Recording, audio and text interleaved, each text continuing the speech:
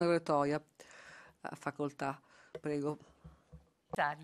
Noi approviamo un- una direttiva che ha dei target e degli obiettivi molto impegnativi, ambiziosi e ne siamo ben lieti, ma sappiamo che sono anche raggiungibili, non è solo ambizione, è diciamo anche un realismo di, una- di un lavoro che l'Europa sta facendo, se naturalmente svilupperemo alcune condizioni. Le cito solo per titoli. La prima riguarda le procedure. Il problema dell'accelerazione di tutto il permitting è essenziale. Noi abbiamo nei piani nazionali dei target ambiziosi, ma non stiamo procedendo con la necessaria velocità e questo è dovuto alle procedure. Quindi ottima la soluzione trovata.